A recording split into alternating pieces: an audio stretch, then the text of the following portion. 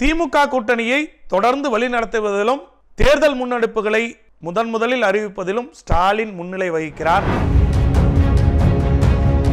காங்கிரஸையும் தன் வழிக்கு கொண்டு வந்து இன்று தொகுதியை உடன்படிக்கை செய்திருக்கிறார். அந்த காங்கிரஸ் தொகுதி உடன்படிக்கையில் யார் யாரெல்லாம் போட்டியிடுகிறார்கள் என்ற உறுதியான பட்டியலை இப்பொழுது நாம் வெளியிட இருக்கிறோம். மதிமுக சிபிஐ கொங்கு நாடு மக்கள் தேசிய கட்சி போன்ற கட்சிகளில் எல்லாம் யார் யாரெல்லாம் திமுக கூட்டணியில் போட்டியிட உள்ளார்கள் என்ற முழு விவரத்தை திமுக தலைவர் ஸ்டாலின் போடும் பால்களை எல்லாம் சிக்ஸர் அடித்துக் கொண்டே இருக்கிறார். இந்த சிக்ஸர் என்பது ஏப்ரல் பத்தொன்பதாம் தேதி ஆடுகளத்தில் உறுதி செய்யப்பட்டு கடந்த முறை போன்று நாற்பதுக்கு நாற்பதும் அபார வெற்றியை மே நான்காம் தேதி பெறப்போகிறாரா? கடந்த முறையை போன்று திமுக கூட்டணியின் அபார வெற்றியை ஜூன் நான்கு அன்று காணப்போகிறோமா? அது குறித்து இன்றைய கிங் வாய்ஸில் கள நிலவரங்களை உங்களோடு பகிர இருக்கிறோம். பாருங்கள் பாசிசத்தை வீழ்த்த இந்தியாவை காக்க ஸ்டாலின் அழைக்கிறேன். தமிழகமே உற்று நோக்கி கொண்டிருந்த திமுக காங்கிரஸ் கூட்டணியின் காங்கிரஸ் கட்சிக்கான தொகுதி ஒதுக்கீடு என்பது இன்று அறிவிக்கப்பட்டுள்ளது. பத்து தொகுதிகள். இந்த பத்து தொகுதிகளுக்கான வேட்பாளர்கள் யார் என்பதை கிங் த்ரீ சிக்ஸ்டி இப்பொழுது இறுதி செய்து உறுதியான பட்டியலை இப்பொழுது லீக் செய்ய இருக்கிறது இதில் குறிப்பாக நாம் பார்க்க வேண்டும் என்றால் திமுக இந்த முறை பெரியனன் போக்கில் நடந்து கொள்கிறது. அந்த கூட்டணியிலிருந்து பல கட்சிகள் எங்களிடம் வரும் என்று கூறிக்கொண்டிருந்த அதிமுகவின் பொதுச் செயலாளர் எடப்பாடி பழனிசாமிக்கும் ஜெயக்குமாருக்கும் பேரிடி. திமுக கூட்டணியிலிருந்து ஒரு கட்சி கூட வெளியே வரவில்லை. மேலும் ஒரு கட்சி தான் இணைந்துள்ளது கமலஹாசனின் மக்கள் நீதி மையம். அதிமுக கூட்டணிக்கோ கடை திறந்தும் கேட்போர் யாரும் இல்லை என்ற நிலையில்தான் இந்த நொடி வரை இருக்கிறது. இப்பொழுது பாமகவும் தேமுதிகவும் அதிமுக கூட்டணியில் இணைய வாய்ப்பு இருப்பதாக எடப்பாடி எவ்வளவுக்கு எவ்வளோ இறங்கி வர முடியுமோ அவ்வளோவுக்கு அவ்வளவு இறங்கி வந்துள்ளதாகத்தான் தகவல் தெரிகிறது. இந்த திமுகவின் பெரியண்ணன் போக்கை மாற்றி திமுக கூட்டணிக்காக எதையும் விட்டு கொடுக்கும் என்பதை ஸ்டாலின் ஒரு புதிய கலாச்சாரத்தை உருவாக்கி இருக்கிறார். குறிப்பாக கடந்த முறை இருபத்தி நான்கு தொகுதிகளில் உதயசூரியன் சின்னத்தில் போட்டியிட்ட ஸ்டாலின் இந்த முறை இருபத்தி ஒரு தொகுதியில் தான் போட்டியிடுகிறது. கூட்டணி கட்சிகள் எல்லாம் அவர்களது சொந்த சின்னத்தில் போட்டியிடுகிறேன் என்று கூறவும் அதற்கு உங்கள் இஷ்டம் போல் போட்டியிடுங்கள். உதயசூரியன் சின்னம் இல்லை என்றாலும் பரவாயில்லை. எங்கள் இருபத்தோரு தொகுதியில் நாங்கள் போட்டியிடுகிறோம் என்று உடனடியாக ஒப்புதல் வழங்கி பிசிகாவையும் மதிமுகவையும் வெற்றிகரமாக பேசி முடித்தார் ஸ்டாலின். அதற்கடுத்தபடியாக இழுபறையாக இருக்கும் காங்கிரஸ் திமுக கூட்டணி உடையும் சுனில் எங்களோடு இருக்கிறார். அவரை வைத்து அதிமுகவின் தலைவர்கள் எல்லாம் ராகுலோடு பேசி முடித்து விடுவோம். கலைஞரின் நினைவாலயத்திற்கு காங்கிரஸ் ஒருவரும் வரவில்லை என்றெல்லாம் கூறிக்கொண்டிருந்தவர்களுக்கு பேரிடையாக திமுக தனது உதயசூரியன் சின்னத்தில் ஜெயித்த இரண்டு தொகுதிகளை காங்கிரசுக்கு விட்டு கொடுத்திருக்கிறது. அந்த இரண்டு தொகுதிகள் எது எதுவென்றால் ஒன்று திருநெல்வேலி மற்றும் கடலூர். காங்கிரஸ் கட்சியை பொறுத்தவரை வேட்பாளர்களை யார் என்று முடிவு செய்துதான் தொகுதியை வாங்கியிருப்பதாக தகவல்கள் வருகிறது. அது உறுதியான லிஸ்டாக இப்பொழுது வெளியாக இருக்கிறது. இதைவிட இன்னொரு அரசியல் நகர்வு இன்று நடைபெற்றிருக்கிறது. தமிழகமே உற்று நோக்கிய வகையில் தமிழக பாரதிய ஜனதா கட்சியின் முன்னாள் தலைவரும் தெலுங்கானா மற்றும் புதுச்சேரியின் ஆளுநராக இருக்கக்கூடிய தமிழிசை சவுந்தரராஜன் தனது ராஜினாமாவை குடியரசுத் தலைவருக்கு அனுப்பி வைத்திருக்கிறார். மாநிலங்களவை உறுப்பினர் பதவிக்கு தமிழகத்திலிருந்து போட்டியிடுகிறேன் என்று கூறியிருக்கிறார். அவர் தமிழகத்தின் தென் சென்னை தொகுதியில் போட்டியிடுவதற்கான வாய்ப்புகள் உறுதியாகி இருப்பதாகத்தான் தெரிகிறது.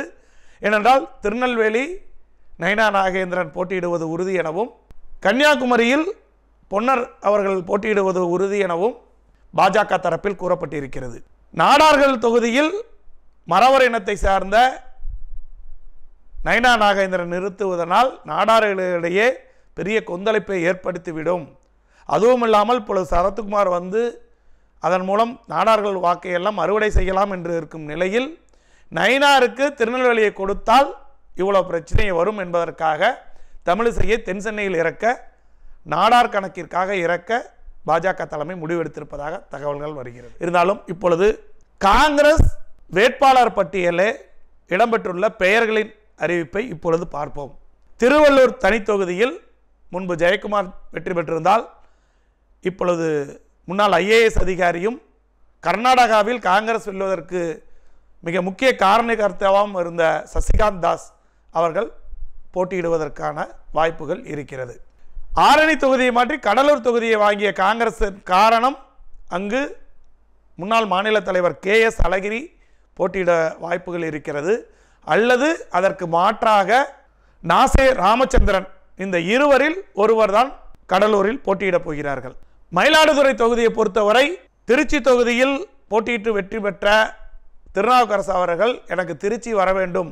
இல்லை என்றால் பாஜக சென்று விடுவேன் என்றெல்லாம் மிரட்டி பார்த்திருக்கிறார். அப்படி மிரட்டி பார்த்தவருக்கு இருந்தால் இருங்கள் இல்லை என்றால் சென்று விடுங்கள் என்று காங்கிரஸ் தலைமை முடிவெடுக்கப் போகிறதா? அல்லது இந்த மயிலாடுதுறை தொகுதியை திருநாவுக்கரசிற்காக ஒதுக்கப் போகிறதா என்பதும் கேள்விக்குறியில் இருக்கிறது. அப்படி திருநாவுக்கரசருக்கு அந்த தொகுதி அளிக்கவில்லை என்றால் பழைய எம்பியாக இருந்த மணிசங்கர் ஐயரோ அல்லது காங்கிரசின் சிறுபான்மை பிரிவில் இருக்கக்கூடிய அஸ்லாம் பாஷா அவர்கள் போட்டியிடுவதற்கான வாய்ப்புகள் தென்படுகிறது. சிவகங்கையை பொறுத்தவரை சிட்டிங் எம்பியான கார்த்திக் சிதம்பரம் மீண்டும் போட்டியிட இருக்கிறார். திருநெல்வேலி தொகுதி இப்பொழுது காங்கிரஸ் கேட்டு பெற்றிருக்கிறது திமுக நெல்லை எனக்கு தொல்லை என்று கலைஞர் காலத்தில் கூறியது போன்று இப்பொழுதும் நெல்லை ஸ்டாலினுக்கும் தொல்லையாகத்தான் இருந்திருக்கிறது. அதனால் உதயசூரியன் ஜெயித்த தொகுதியை காங்கிரசுக்கு ஒதுக்கி இருக்கிறார் ஸ்டாலின். அந்த திருநெல்வேலியில் எஸ் எஸ் ராமசுப்பு முன்னாள் எம்பி அவர்கள் போட்டியிட வாய்ப்புகள் அதிகம். அப்படி இல்லை என்றால் தனுஷ்கோடி ஆதித்தன் போட்டியிடவும் வாய்ப்புகள் அதிகம். ஏனென்றால் திருநெல்வேலியில் நயனா நாகேந்திரன் மரவரணத்தை சேர்ந்தவர் போட்டியிடுவதனால் தனுஷ்கோடி ஆதித்தன் போட்டியிட்டால் வெற்றி என்பது உறுதியாக்கப்பட்ட ஒன்று. அப்படி இல்லை என்றால் அங்கு ஃபீட்டர் அல்போன்ஸுக்கு ஒரு வாய்ப்புகளும் இருப்பதாக கூறப்படுகிறது. இந்த மூவரில் தனுஷ்கோடி ஆதித்தனுக்குத்தான் வாய்ப்பு அதிகம் என்பது கூறப்படுகிறது. கிருஷ்ணகிரி தொகுதியை பொறுத்தவரை சிட்டிங் எம்பியான டாக்டர் செல்லக்குமார் மீண்டும் போட்டியிடுகிறார். கரூர் தொகுதி திமுக கூட்டணியில் காங்கிரஸ் தொகுதி உடன்படிக்கை ஏற்படுவதில் நாட்கள் எடுத்துக்கொண்டதற்கு மிக முக்கிய காரணம் இந்த கரூர் தொகுதி தான் ஏனென்றால் அங்கு கடந்த முறை வெற்றி பெற்ற ஜோதிமணி அவர்களுக்கு சொந்த கட்சியிலேயே எதிர்ப்பு இருக்கிறது. திமுகவின் சார்பிலும் செந்தில் பாலாஜி தரப்பிலிருந்து முட்டல் மோதல்கள் இருப்பதனால் ஜோதிமணிக்கு அங்கு வாய்ப்பு வேண்டாம். திமுகவே இங்கு போட்டியிடலாம் என்று செந்தில் பாலாஜி கூறியதாகவும் அதனால் சோ ஜோதிமணிக்கு ஈரோடு தொகுதியோ அல்லது கோவை தொகுதியோ எடுத்துக்கொள்ளுங்கள் என்று திமுக தரப்பிலிருந்து தொடர்ந்து வலியுறுத்தி வந்ததாகவும் கருத்துக்கள் கூறப்படுகிறது. ஜோதிமணி தனது தலைமையின் செல்வாக்கின் மூலமாக மீண்டும் கரூரில் போட்டியிடுகிறார். மீண்டும் வெற்றி பெறுவதற்கு வாய்ப்புகள் இருக்கிறது. ஏனென்றால் தலைமை யார் அறிவிக்கிறார்களோ அவரை வெற்றி பெற வைப்பது செந்தில் பாலாஜியின் வழக்கம். ஜோதிமணி தனித்து காங்கிரஸ் சார்பில் போட்டியிட்ட பொழுது ஐம்பதாயிரத்துக்கும் குறைவான வாக்குகள் தான் பெற்றார். கடந்த முறை செந்தில் பாலாஜியின் செல்வாக்கால் நான்கு லட்சம் வாக்குகளுக்கு அதிகமாக இங்கே பெற்ற வரலாறு என்பது பதிவு செய்யப்பட்டிருக்கிறது. அந்த வகையில் ஜோதிமணி தான் கரூரில் போட்டியிடப் போகிறார். செந்தில் பாலாஜியை தலைமை சரி செய்துவிடும் என்ற உறுதியும் கொடுக்கப்பட்டுள்ளது. அதுக்கடுத்து விருதுநகர் தொகுதி. விருதுநகரில் சிட்டிங் எம்பியான மாணிக் தாகூர் இந்த முறையும் போட்டியிடுகிறார். கன்னியாகுமரி தொகுதியில் சிட்டிங் எம்பியான விஜய் வசந்த் மீண்டும் போட்டியிடுகிறார். புதுச்சேரியில் தமிழிசை சவுந்தரராஜன் போட்டியிடுவார் என்று எதிர்பார்க்கப்பட்ட நிலையில் இன்று இரண்டாவது அறிவிப்பாக அவரே அறிவித்ததில் தமிழகத்தில் ஏதேனும் ஒரு தொகுதியில் நான் போட்டியிடுவேன் தலைமை கூறும் தொகுதியில் என்று கூறியதன் காரணமாக இங்கு நாராயணசாமிக்கான வாய்ப்புகள் பறிவோய் வைத்தியலிங்கம் போட்டியிடுவது உறுதியாக தெரிகிறது. ஆக மொத்தம் காங்கிரசின் பத்து தொகுதிக்கான வேட்பாளரை கையில் வைத்து கொண்டுதான் திமுகவிடம் காங்கிரஸ் தொகுதியை பெற்றிருக்கிறது. இந்த காங்கிரஸ் இன்னும் டெல்லியின் ஒப்புதலோடு இன்னும் ஒரு சில நாட்களில் அறிவிக்க வேண்டும் என்று ஸ்டாலின் கூறியிருக்கிறார். ஏனென்றால் காங்கிரசின் வழக்கம் தொகுதி உடன்படிக்கையிலும் கடைசியில் தான் வருவார்கள். வேட்புமனு தாக்கலுக்கு முன் முதல் நாள்தான் வேட்பாளர் என்றே அறிவிப்பார். அந்த வழக்கத்தை இந்த முறை மாற்றியே ஆக வேண்டும். பதினைந்து நாட்கள் தான் தேர்தல் பிரச்சாரத்திற்கு இருக்கிறது என்பதை ராகுலிடம் மும்பையில் ஸ்டாலின் அறிவுறுத்தி இருக்கிறார் அந்த வகையில் இன்னும் ஓரிரு நாளில் இந்த பட்டியல் வெளியாக வாய்ப்புகள் இருக்கிறது. அடுத்ததாக திமுக கூட்டணியில் இன்னும் அறிவிக்கப்படாத வேட்பாளர்கள் யார் என்று பார்த்தால் மதிமுக திருச்சியில் போட்டியிட இருக்கிறது. அங்கு துரை வைகோ போட்டியிடுவது உறுதி செய்யப்பட்டிருக்கிறது. திருச்சியில் யாரை கே. என். நேருவிடம் ஒப்படைத்தாலும் அவரது வெற்றி உறுதி என்பதனால் வைகோ தனது மகனை கே. என். நேருவிடம் ஒப்படைக்கிறார் என்பதுதான் உறுதியான தகவலாக வந்திருக்கிறது. சிபிஐக்கு இரண்டு தொகுதி ஒதுக்கியிருந்தது. ஒன்று நாகை இன்னொன்று திருப்பூர். திருப்பூர் தொகுதியில் சிட்டிங் எம்பியான சுப்ராயன் அவர்களே மீண்டும் போட்டியிட இருக்கிறார். நாகை தொகுதியை பொறுத்தவரை வை செல்வராஜ் அவர்கள் போட்டியிடுவதற்கான வாய்ப்புகள் அதிகமாக தென்படுகிறது. அதேபோன்று விசிகாவில் சிதம்பரத்தில் திருமாவளவனும் விழுப்புரத்தில் ரவிக்குமாரும் போட்டியிடுவதற்கு தான் வாய்ப்புகள். அதேபோன்று சிபிஎம்மில் அறிவிக்கப்பட்ட ஒன்றுதான் மதுரையில் சு வெங்கடேசன் அவர்களும் திண்டுக்கல்லில் சச்சிதானந்தம் அவர்களும் அறிவிக்கப்பட்டிருக்கிறார்கள். ராமநாதபுரத்தில் திமுக கூட்டணியில் முதல் முதலாகவும் தமிழகத்தில் முதல் முதலாகவும் அறிவிக்கப்பட்ட வேட்பாளர் நவாஸ்கனி அவர்கள். அதனடுத்ததாக திமுக கூட்டணியில் இன்னும் வெளியாக உள்ள வேட்பாளர் என்பது கொங்குநாடு மக்கள் தேசிய கட்சியின் வேட்பாளர் தான். அதில் அந்த கட்சியின் மாநில இளைஞர் அணி செயலாளரான சூரியமூர்த்திக்கு வாய்ப்புகள் அதிகம் தென்படுகிறது. அப்படி இல்லை என்றால் நாமக்கல் மாவட்ட செயலாளராக இருக்கக்கூடிய மாதேஸ்வரனுக்கு வாய்ப்புகள் தென்படுகிறது. முதல் ரவுண்டில் மாதேஸ்வரன் அதிகமாக இருந்தாலும் கட்சிக்காக தொடங்கிய காலம் முதல் கடுமையான பணிகளை செய்து வந்ததும் கட்சியின் போர்ப்படை தளபதியாக இருக்கக்கூடிய சூரியமூர்த்திக்கு தொடர்ந்து வாய்ப்புகள் இழக்கப்பட்டு வருகிறது.